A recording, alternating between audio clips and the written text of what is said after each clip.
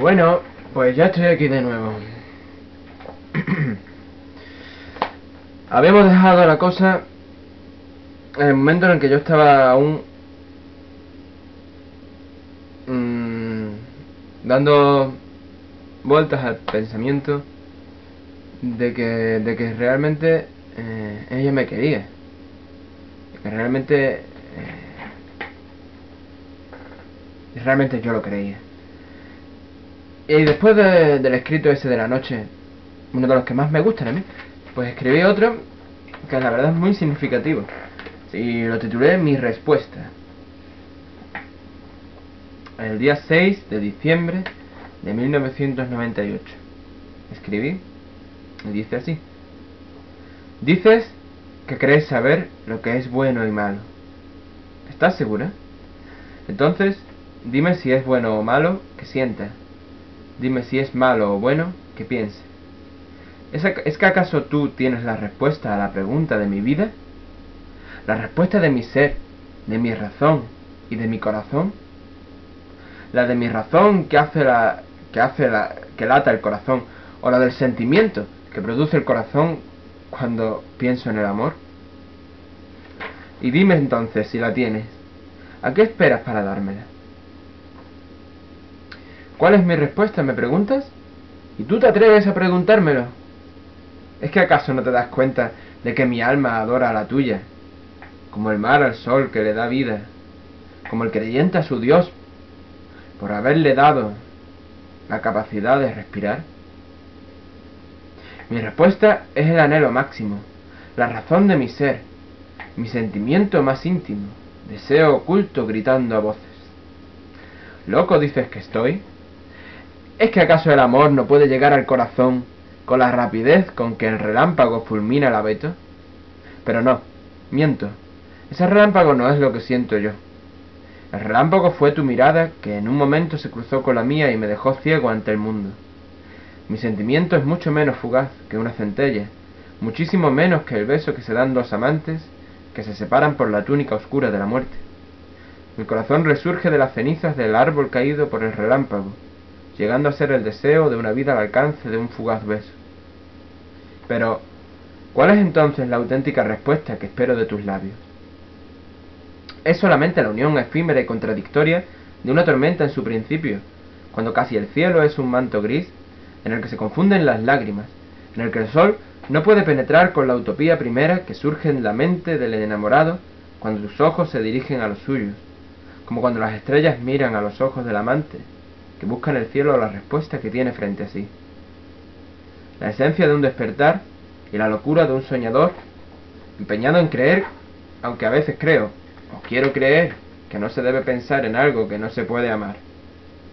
Así que dime ahora si es bueno o malo que sientes. Dime ya, sin más esperas, si es malo o bueno que piense en ti.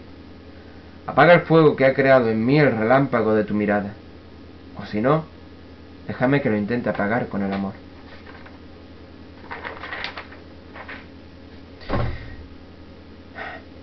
Todo esto realmente quiero que, sepan, que sepáis ustedes, que, que lo escribí eh, no con, con esto, sino con, con esto de aquí, el corazón.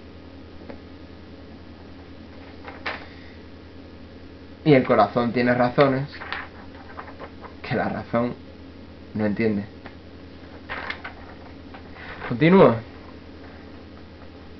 Esto lo escribí pues eh, a continuación, eh, dos días después, día 8 de diciembre del 98.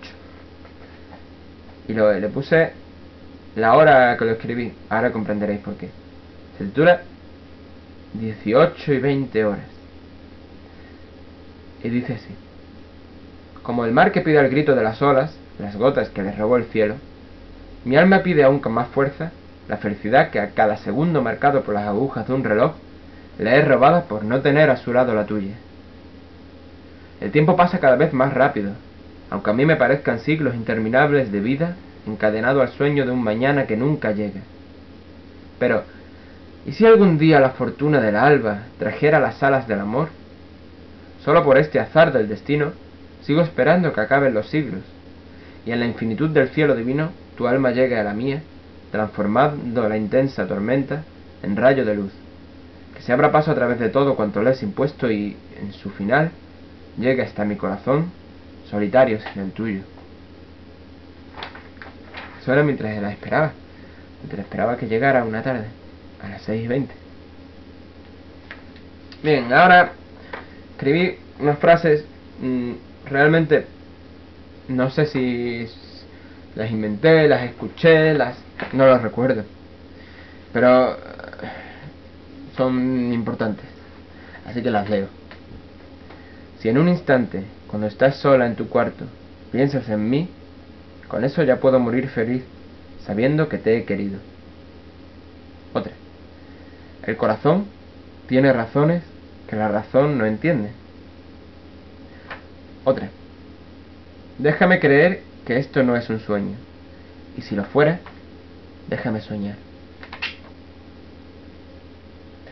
Te quiero besar y que nuestros labios unidos nos transporten a un sueño del que no queramos despertar. Ahora viene una de las que más me gustan. Mira, prefiero un instante en el que nuestras miradas se crucen que una vida entera sin poder encontrarse. Ahora una un poco graciosa. Decía, te quiero, luego existo.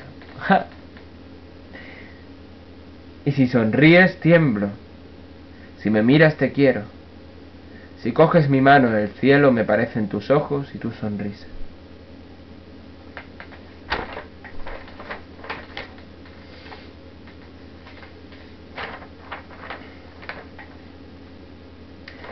Creer, querer. 11 del 12 del 98. Hoy Dios me ha hablado. No sé cómo ni por qué, pero lo ha hecho. Su voz era un susurro. Un susurro que surgía de mi alma y me decía algo así. Quizás hoy no estés entre la gente.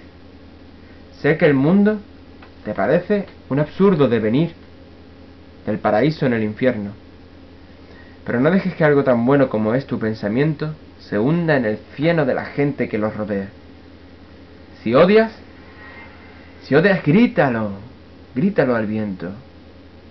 Si amas, grítalo al silencio. Aunque sé que no es fácil, siéntete afortunado por lo que tienes. Deja que el destino te llene de alegría. El futuro piensa que será mejor, que tendrás la felicidad, que todo lo que quieras podrá ser tuyo si crees en mí. Entonces, después de haber oído estas palabras en silencio, le dije gritando a esa voz que provenía de no sé dónde. ¡Cállate! ¿No crees que allá es bastante dura mi soledad para que una voz me llene de ira y odio hacia mí mismo? Es que no eres tú, Dios, el que todo lo puede, el que todo lo sabe. No, no lo creo. Si fueras, no me dirías lo que me has dicho.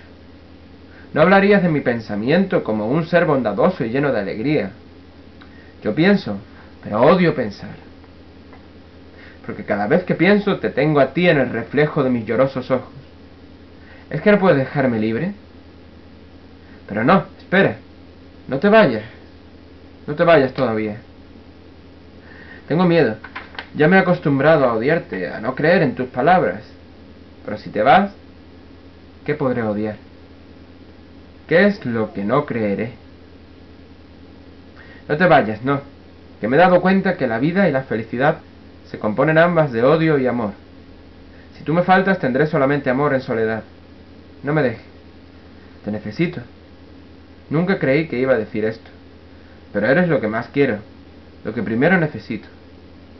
Olvídate de las palabras, olvídate del pensamiento, y déjame quererte aunque no crea en ti.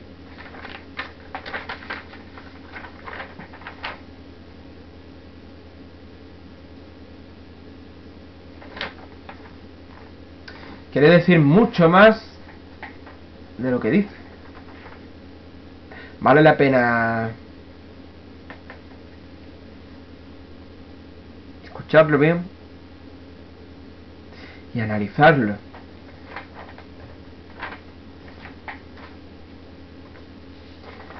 Pienso, quizás más. Pienso, pienso en ti. ¿En qué voy a pensar? Pienso y en mi pensamiento veo tu imagen rodeada por un halo. Un halo de luz difusa, sí. Esa eres tú, como el amanecer, que no sé cómo siempre gana el sueño. Recuerdo tu voz, que proviene de cerca del corazón, tu corazón. También lo pienso, lo siento, lo intuyo como el sol intuye la tormenta. Cada gesto, cada mirada, cada palabra, aún me hacen estar más cerca de ti, de tu, de tu sonrisa que transmite la sensación del corazón hasta los labios, que también pienso, deseo e imagino diciendo un par de palabras que pueden valer de tanto en esta vida sombría que guarda las mías. Ojos de pasión, ojos de ilusión que miran no sé por qué a los míos, llenos de esperanza y miedo al adiós, porque tu, porque tu corazón me dice un adiós constante, sin pausa, acribillando mis pupilas que vuelven la mirada en un instante hacia la oscuridad. Pero tú, como siempre, ángel de luz, ángel salvador, recoges mi rota mirada y la unes de nuevo con el simple reflejo de tus oscuros y misteriosos ojos. Es fácil contar tus virtudes, no son tantas, pero son todas las que quiero. Te pienso, te escribo, te mando un beso, una flor, mi corazón y, todo mi ser, porque toda mi vida, todas las cosas que en ella se encierran, son para ti. Sé que no es mucho lo que te ofrezco, pero es todo lo que tengo. No puedo darte más. Solo yo.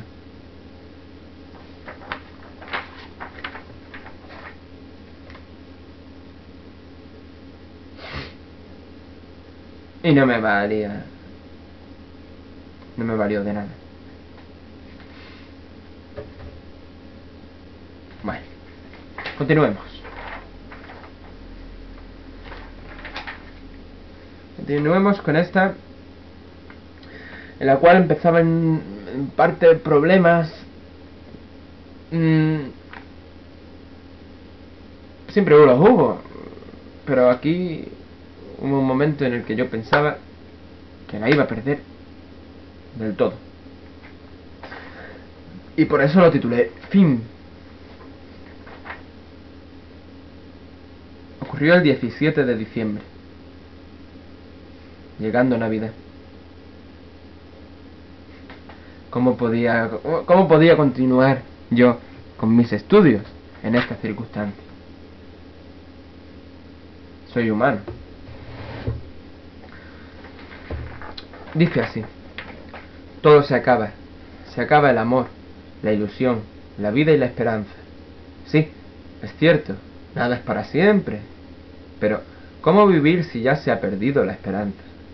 ¿Cómo tener ilusión si el amor es tan fugaz que con un simple segundo acaba con todo lo que surge de la esperanza en una vida inmersa en tan en oscuras tinieblas? ¿De qué vale vivir si no tengo nada, no aspiro a nada, no siento nada, o sí? Pero sí, siento, siento todo lo malo que el corazón de una persona puede sentir contra sí mismo. Me odio, odio mi vida, odio todo mi ser. O, o es que no me tengo. Te, no, no me tengo, te di todo a ti. Te regalé amor, ilusión, vida y esperanza. Pero todo se acaba. Igual que mi vida sin ti. Yo sentía realmente así. Sentía que mi vida acababa. Pero no acabó. No acabó.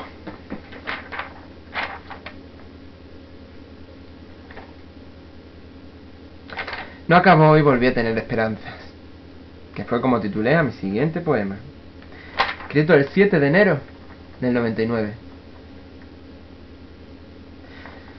Y aquí, aquí escribí, si el amor tuviese razón sería un loco, si el amor, si el amor tuviera ojos un ciego sería porque el amor es ciego y la locura son sus ojos. Creí verlo un solo instante, en que los ojos brillaron y entre lágrimas saladas un dulce resplandor parecía abrirse paso. Pero tú, amor, Eres tan inconstante como el viento que sopla del norte y viajando hacia el sur llena las verdes copas de rocío. Así el aire, que entra en tu pecho para morir en él, se llena de lágrimas en su paso por mi norte, y cuando llega al sur de tu corazón, te impiden amar al hacerlo frío de amor. Quizás la cálida brisa que te llega de mi desierto logra aliviar mi pena al hacer que el hielo caiga en agua y el agua se eleve hacia el cielo, llegando quizás a tocar tu corazón de frío fuego de sol. Y junto a esto escribí un par de, frases que decía, quizás si alguna vez te preguntes qué es el amor. El amor eres tú. Y otra que decía, el amante puede dejar de amar pero siempre amará el tiempo que amó.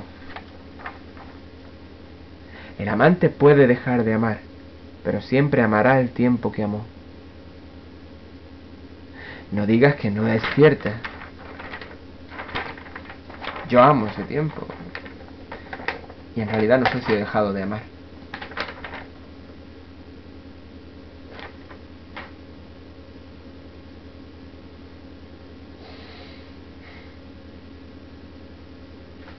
No sé. Y tú te vas. Recojo brisas del aire que me trae tu perfume. Ondas invisibles de visible dolor en tus palabras. Reina el desconcierto en mi interior. No sé. Eso es todo. No sé si estás a mi lado cuando te veo junto a mí. No sé si realmente valdrá de algo tanto amor. No sé. Y lo siento. Miro hacia adelante y veo una carretera que lleva a ¿A dónde?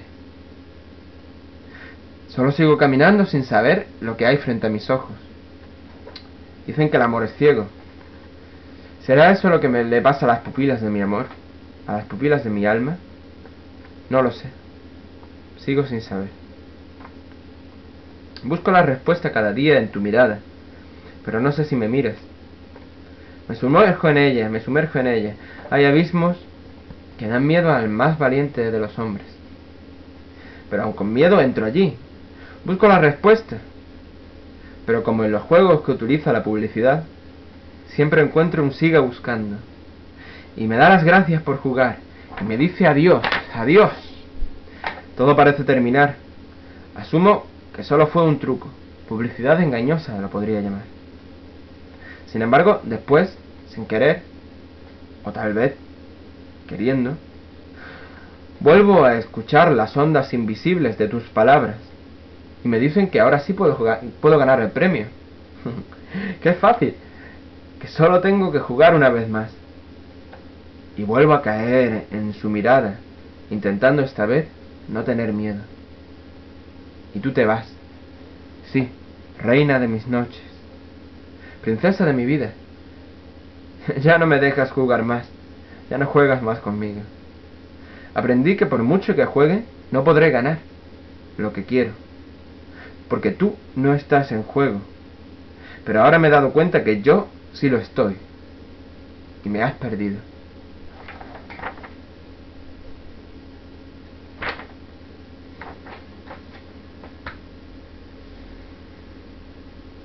Ese mismo enero, en el que escribí estas cosas, estas dos escritos, enero Enero, enero del 99, ¿no? Sí. A finales, el día 25, escribí.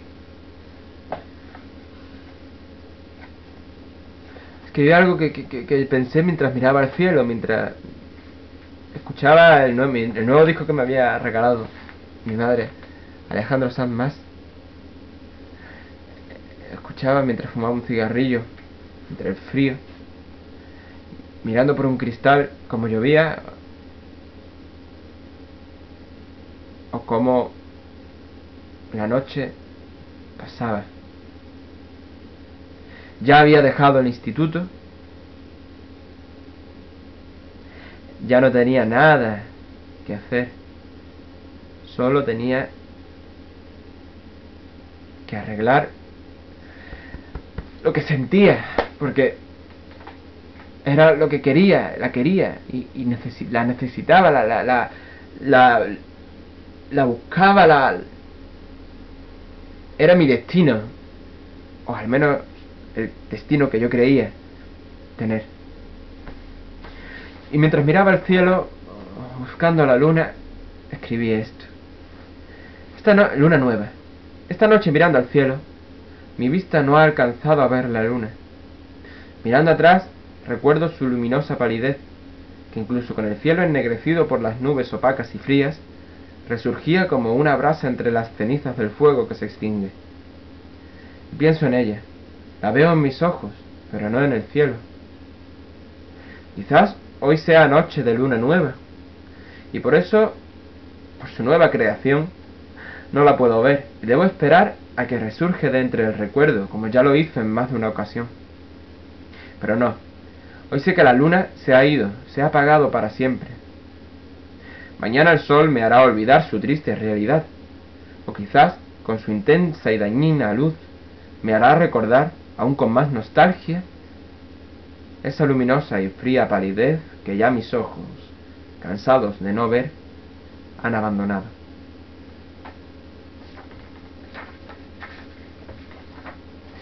La metáfora es, está clara, la luna esta tiene.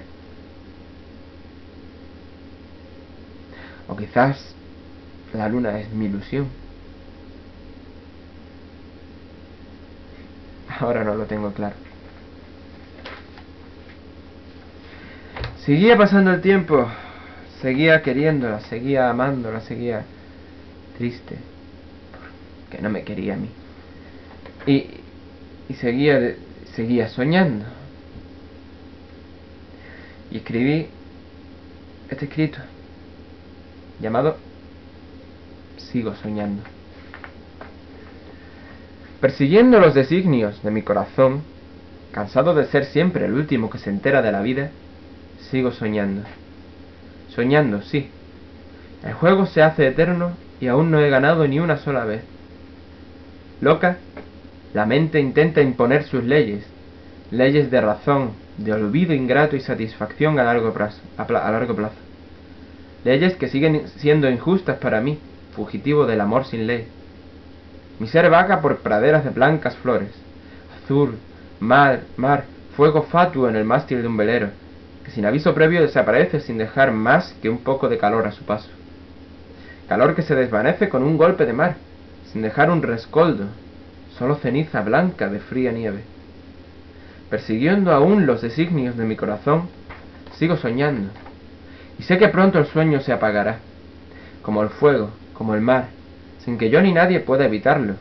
Sí, lo sé, pero aún tengo la leve esperanza de que al despertar, al abrir los ojos y ver la tenue luz que entra por las rendijas de la puerta gastada por el tiempo, estés a mi lado, cojas mis manos entre las tuyas y me fundas en tu amor, como una blanca flor más en el inmenso jardín de tu mirada.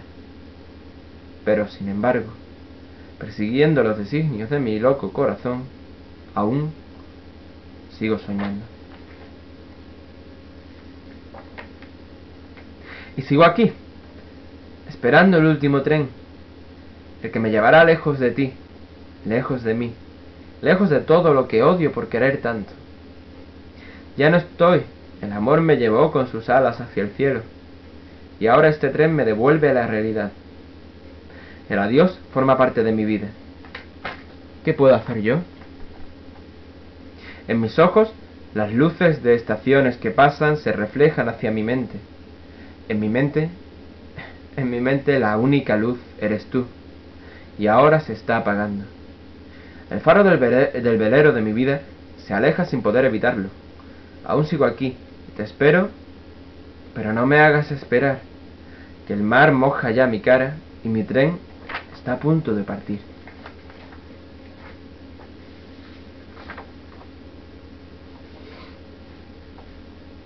Bueno, mm, ya podéis imaginar cómo me sentía en aquel momento, ya me podéis imaginar cómo, cómo veía las cosas, ya podéis imaginar que realmente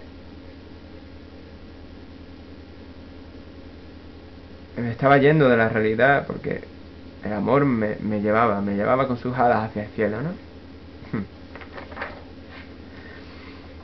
y escribía cosas como, como nosotros.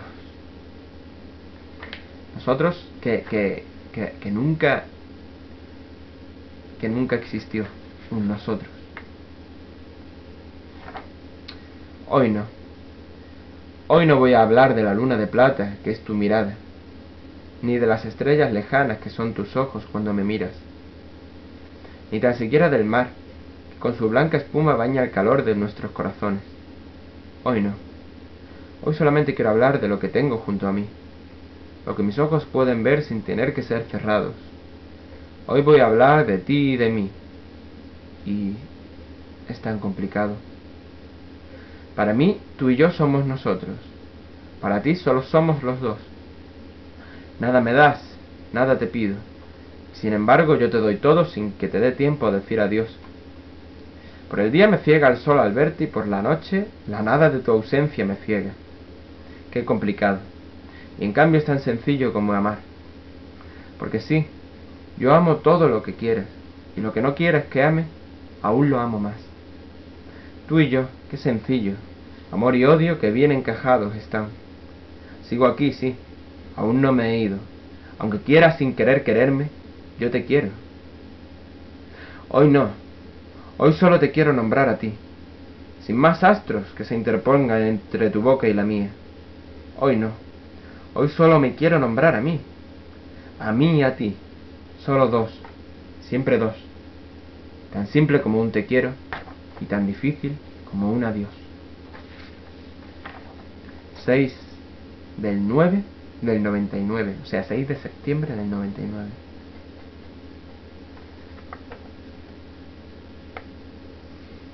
Ya había pasado mu mu mucho tiempo y seguía esperando que ella aclarara su mente lo que tenía que aclarar. Seguía esperando sin, sin hacer nada, puesto que no podía hacerlo. Solo esperar. Esperar a que un ángel bajara del cielo y, y me tocara con su dedo para darme la, la, la felicidad.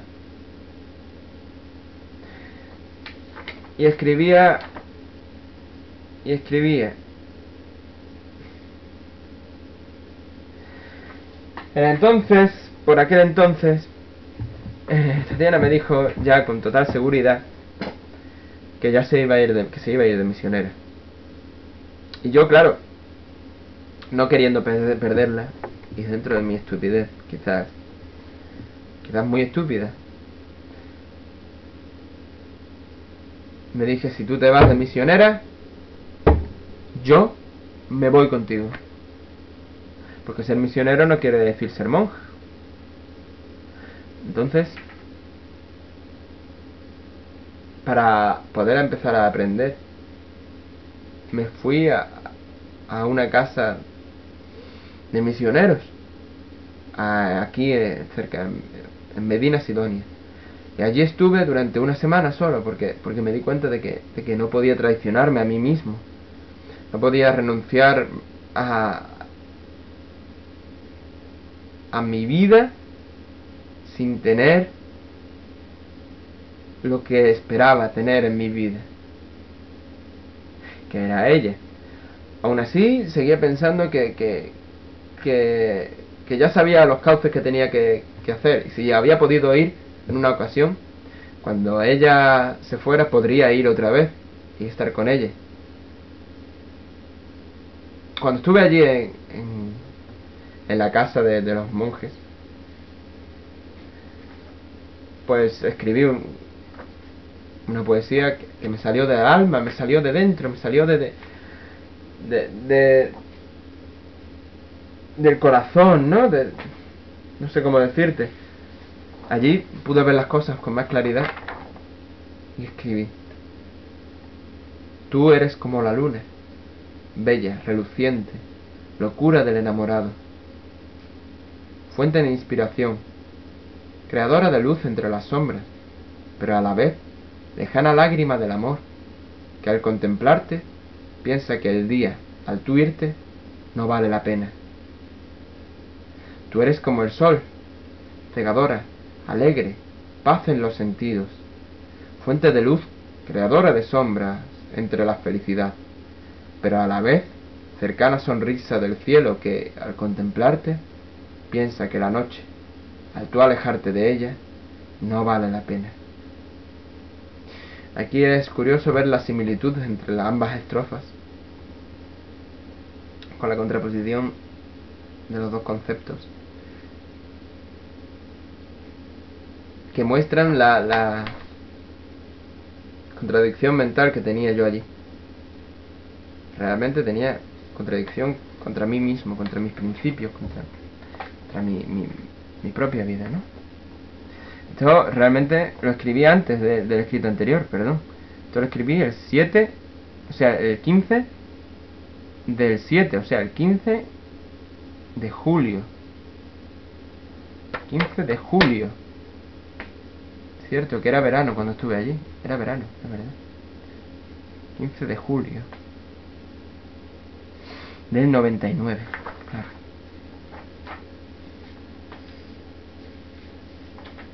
Y así seguí, seguí viviendo, creyendo, pensando.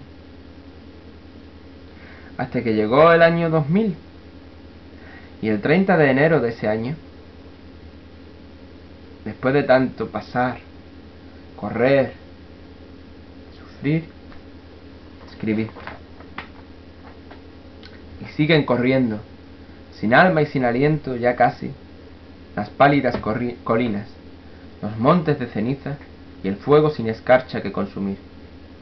Mientras, mi alma sigue sentada en el asiento de aquel tren sin destino. Ella no lo sabe, pero no está sola en la oscuridad del compartimento, solo rota por algunas luces de hogares lejanos que pasan sin detenerse siquiera para saludar a la sombra. De pronto, el silencio de la soledad es roto por el chasquido de un mechero al encenderse. Hay alguien, pero no logro ver más que... quién sabe. Quizás fui yo quien encendió un cigarrillo y ni siquiera lo sé. Por la ventanilla, a lo lejos, se distingue el mar, plata por la luz de la luna, e inmenso por su pequeñez. Inmerso en distinguir a mi acompañante, logro otear una pequeña luz naranja, intermitente. Está justo a mi lado, pero ¿cómo no lo vi antes? Entonces averiguo que es la lumbre de lo que antes encendí. Ahora no se ve nada por la ventanilla. La luna ha desaparecido. El mar se ha secado. Las estrellas se han apagado. No hay hogares ni colinas, ni montes, solo oscuridad. Apago sofocadamente el resplandor naranja antes de que incendie la áspera tela del asiento.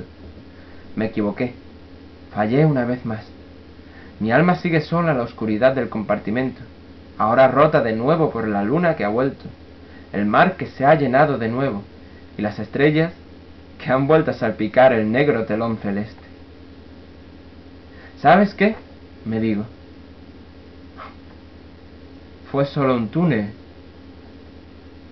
Y siguen corriendo sin descanso, sin alma ni aliento, las cálidas colinas, los montes de ceniza y el fuego, ya casi apagado, por la escarcha.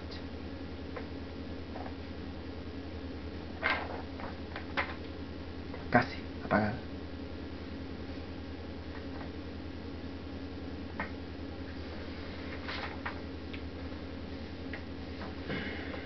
Entonces ya pensé que debía seguir mi vida. Pensé que ya por fin había logrado olvidarla que ya por fin había logrado sacarla de mi vida, sacarla de de mí, de mi corazón. Pero me equivocaba. Y cuando estuve trabajando de noche en una empresa de seguridad, en una emisora, y tenía mucho tiempo libre, puesto que solo tenía que dar parte cada hora, entre tanto, mientras pasaba toda la noche, noche tras noche. Me dio tiempo de pensar, mientras escuchaba música y escribir lo siguiente. Eterno verano. Riendo en un otoño, descubro la lluvia de un, verano. Un verano que pasó, que ya fue, y un verano que vendrá. Sacudo las gotas de mi ropa, me muevo con ligereza hacia un portal, y allí, también mojado como yo, encuentro al invierno. Todo se cubre de escarcha, el vaho empaña los cristales y cuando me acerco a limpiarlos con la mano, afuera ya llegó la primavera. Salgo raudo de aquel frío, internándome en un edén de color, y el sol alumbra con sus rayos la lluvia de un eterno verano. El 30 del 6 del 2001, 30 de junio del 2001. Esto lo escribí el día antes de que Tatiana me llamara para decirme que se iba de monja. Parecía que sabía lo que iba a pasar, lo intuía, lo, lo, preveía. Increíble.